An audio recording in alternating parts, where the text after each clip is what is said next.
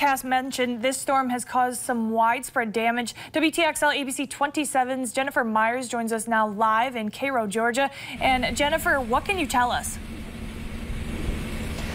Well, Stephanie, my photog and I were walking down Broad Street. We're just outside of downtown Cairo, just a block away or so from Broad Street.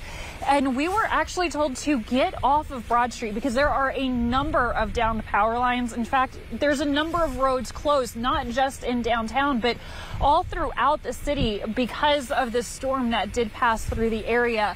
And now I'm going to go ahead and step off camera and just kind of talk about some of the things that I've seen.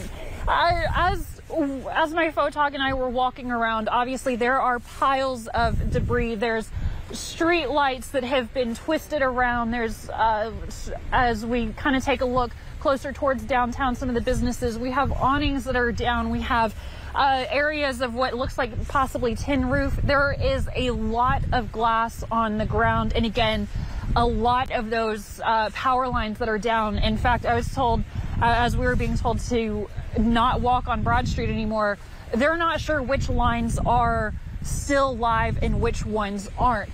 But what we are seeing is a lot of first responders out, a lot of sheriffs, a lot of uh, police officers, even some ATVs and um, even some utility crews as well. Right now, the entire city still without power and we'll continue to uh, walk around and try to talk with some officials through the night. But until then, live in Cairo, Jennifer Myers, WTXL ABC 27.